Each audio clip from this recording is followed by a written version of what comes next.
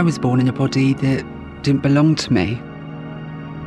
It should have been a girl's body. That would have worked. But it was a boy's.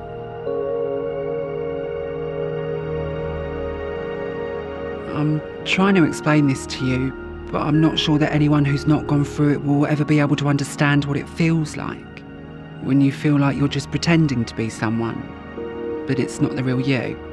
It's just not possible to tell you how confusing it is, how painful it is. Long before I understood why, I just knew I was different.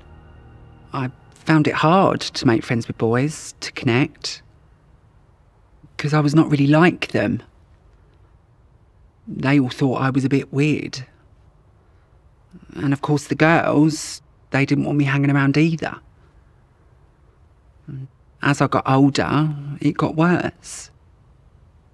People talk about their teenage time as kind of an adventure.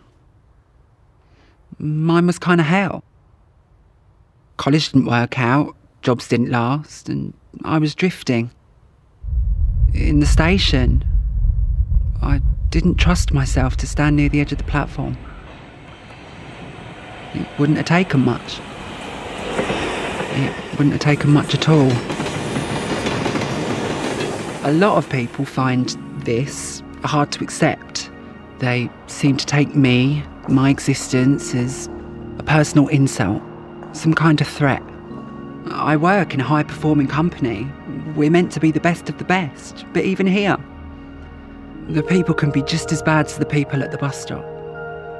The laughter that suddenly stops when I walk in, fragments of impersonations that I'm not meant to hear. That note from my manager saying, people would find it more comfortable if you use the accessible toilets.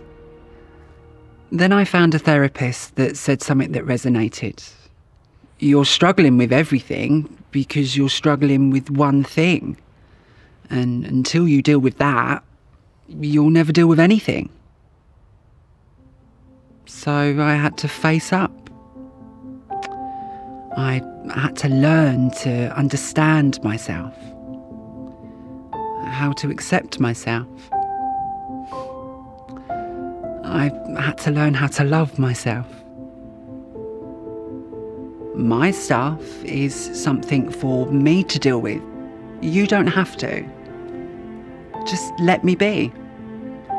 If you're uncomfortable accepting me as a woman, you can't deny I'm a person. So here I am, a smart, well qualified, professional person. I can accept that. Can you?